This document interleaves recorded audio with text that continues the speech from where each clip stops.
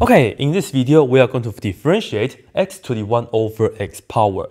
Well, the base right here is a function, namely x. The power right here is also a function, namely 1 over x. Do not use the power rule, do not use the exponential rule right here.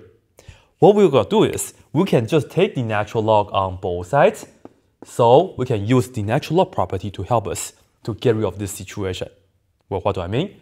Well, when we have x to 1 over x power, instead of the natural log, we can bring the power to the front.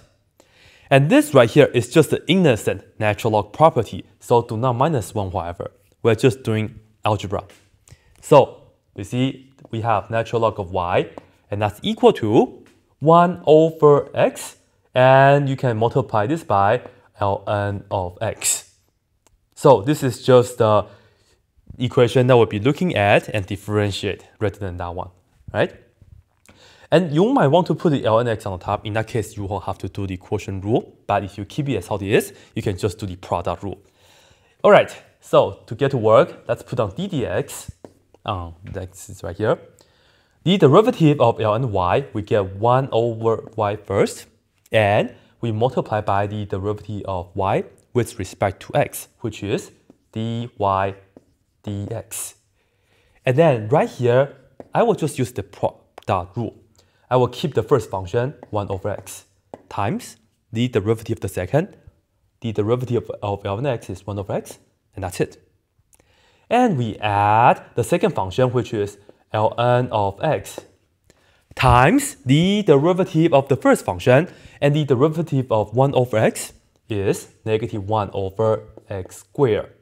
And you can also write this as x to a negative 1 power and then do the little power rule. But you will deal with this a lot. So the derivative of 1 over x is this. You can remember that result. Okay, so this is pretty much it. And now we just have to clean things up. Let's multiply both sides by y so that I can get rid of that and we can find out the dy dx. And we see that the dy dx is going to be the following. Well, y, if you look back, is this, which is x to the 1 over x power. Right? Pretty crazy function, but it's actually pretty famous as well. Anyway, right here, let's see, x times x is x squared. And notice that we also have x squared right here. So in fact, we can combine these two fractions. We can just write them down as x squared in the denominator. From this term, we have 1 times 1, which is 1.